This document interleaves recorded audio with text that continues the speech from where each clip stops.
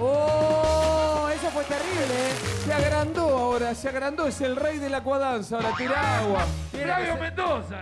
No es el... No, se- no se haga el Flavio Mendoza. Fal- falta que se junte con la otra a criticar. Bueno, señores, atención.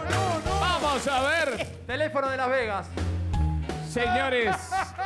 Viene el señor. Venga que va a recibir el puntaje, Navarreto. De ahí lo va a recibir. Venga, lo va a recibir de ahí.